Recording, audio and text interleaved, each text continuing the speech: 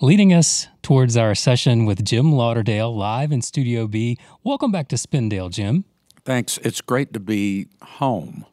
It's great to be on campus again, too. Yeah, you've always got a home here in Spindale, Jim. You know that. Well, thank you. And, you know, literally, this Studio B, a few years back when I was going through some rough time and in between places that I don't think they can see on camera, but there's a Sierra Nevada kind of sheet over a long table.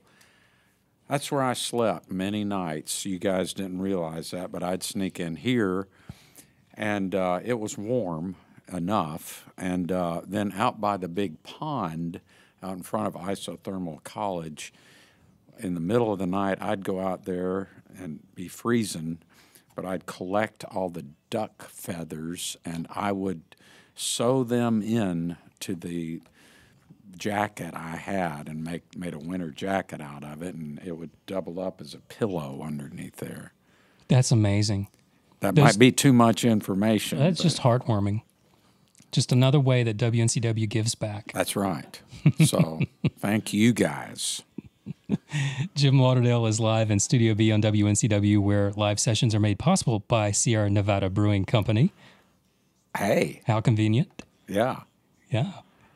Jim Lauderdale, who's playing tomorrow night at 185 King Street in Brevard, Wednesday night at the Grey Eagle in Asheville right. with Travis Book's Happy Hour. Yeah. And Friday in Charlotte, then Sunday in Knoxville. You're just bopping all around our just region. Bopping around, just like uh, Gene Vincent and the Blue Caps. Just be bop a lula-ing around. We're looking forward to hearing what you've got to play for us today. What would you like to start with? You know, I would too, Joe, and I'm sorry I've been talking so much. We're out of time. I'm sorry, but uh, I'd love to rebook something and come back.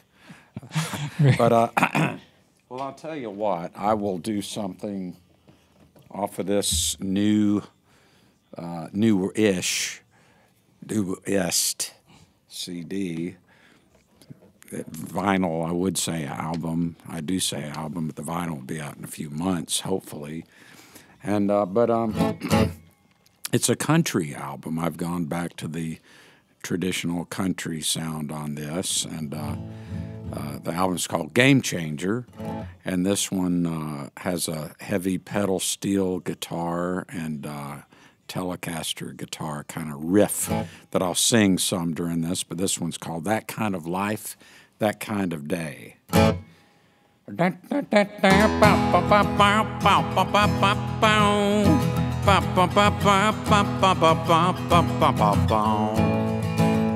When a baby tastes a little bit of sunshine, kicks their legs and bounces up and down, grins and laughs, and everything is so fine.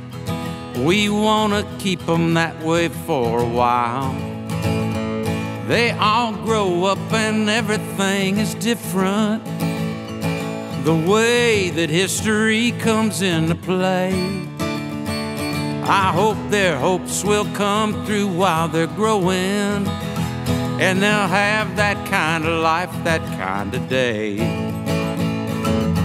Go through all you must do, and know that while you're getting where you're going, go through, don't go away, and have that kind of life, that kind of day.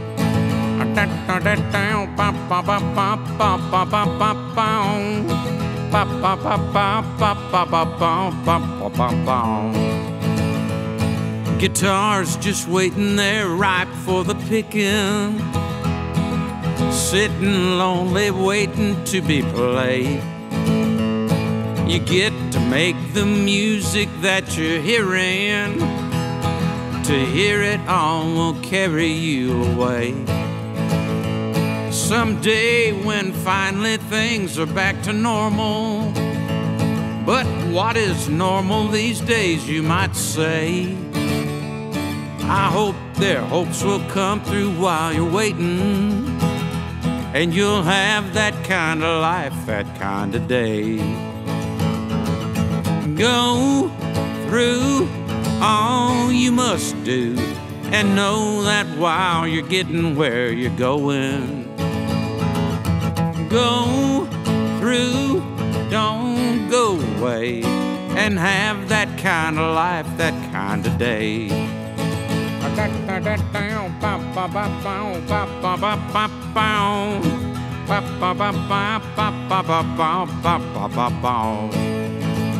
I guess everybody wants that kind of feeling for things to go a little more their way.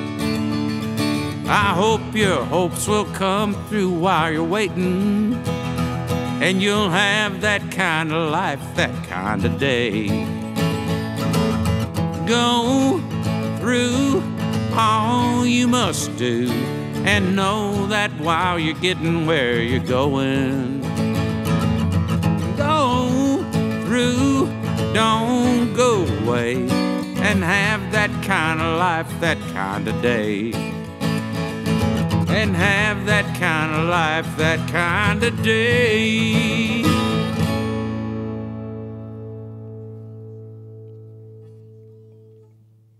Live on WNCW, it's Jim Lauderdale playing the leadoff tune from Game Changer. Very nice. Thank you. Thanks for having me today, and it's, it was great to see y'all. Thank you. you want to do it? Oh, sorry. Go ahead. Well, uh, a little chit chat. Maybe we can have a couple more songs. Maybe, perhaps I. Okay. we can have our intern go out and get the the goose feathers. No. I'm kidding. You know, I I am very glad to be here today. Whatever. Let's let's t- yeah. Let's talk. So Game Changer, it's getting hard to count that high, but I think it's your 34th collection, your 34th album. Thirty fifth. 35th. 35th. Okay. But hey, who's counting? who's counting? But really, that's a, that's an amazing achievement. What makes this record special for you? Um, I had started this record before, like in 2018, and I wanted to put it out in 2021 or whatever was. And then I decided to do the Hope record during the pandemic because I wanted to just, you know, I didn't want to, I felt funny about putting out a, you know, record, even though this record has some hopeful songs on it. But, you know, it was just such a strange time. I wanted to put hope out then. So I, I wrote some new things for this record and for Game Changer and went back in the studio a few times. So I kind of made it, uh, you know, added to it. And I've got another record I'm, I may put out in February, kind of a continuation of Game Changer. And I'm going to call it Game Will Change to kind of follow through on that theme. You worked with Jay Weaver, who's your producer and your bass player again. Yeah. How did that come about? You've worked with him a, number of times. I have. J- Jay has been playing bass with me on and off for, gosh, I guess 15 or so years. And uh, about seven years ago now, I guess, we started going into Blackbird Studios in Nashville. They've got a school there called the Blackbird Academy. And I had some uh, great deal on some studio time. So we just, I took the road band in and we just started, you know, seeing what came out and uh, and I asked Jay. I realized he had so many great ideas. I said, "Why don't you? Would you co-produce this record with me? Because you you are adding so much." So he did, and I'm so glad because these records, I guess the last four or so we've done together, um, they wouldn't have been anywhere near as good without Jay. He he is so he's just great. So I'm very very lucky to be working with him and all the terrific players on the record too. so Jay plays bass, bass throughout, and he gets credit for bass, but also tic tac bass. That's right. and I like that. And so, could you take us back and explain a little bit about the tic tac bass and its role in country music? Yes, yeah, that's a great question. Um, Tic Tac is like a, kind of like a it's a well, you can do different things. Like you you could just play an electric bass with a pick, but it's kind of got that uh, like a it's got that and you do it along with a bass line and it's it kind of adds this real cool texture that you've heard on tons of classic country songs and uh, so yeah we we uh, I, I wanted on this record and also in answer to your question when you said what makes this record different or special it is challenging for me whenever there's some kind of a stylistic record in particular. Like, say, for instance, the records I did with Ralph Stanley, you know, those were within a certain style, Ralph's style. And with this record, with, with some other traditional country records I've done, I want to try to write within that traditional sound but not you know be too derivative or something you know to try to come up with something new as if though for instance as if i was making these records in the 60s or early 70s but it was new material. You know you know what i mean? Sure sure.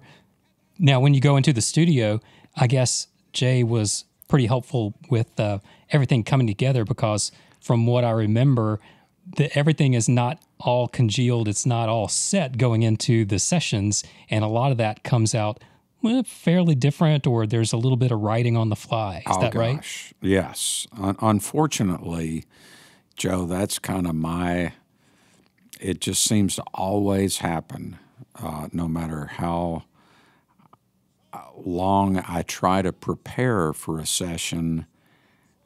So many things life gets in the way. And um, a lot of times I won't write something till the day before or the, the morning of or during a meal break or as the guys are sitting there. Um, not always. And, and when I've co written the songs that make it on a record, those are done in advance. Uh, but that's just part of the nerve wracking process sometimes. Yeah, sometimes a deadline is really what you need to be inspired to do it. Unfortunately, I do. I'm one of those kinds of people that needs the deadline to finish something. That's great. Jim Lauderdale live in Studio B. Many appearances throughout the region this week, going into next week.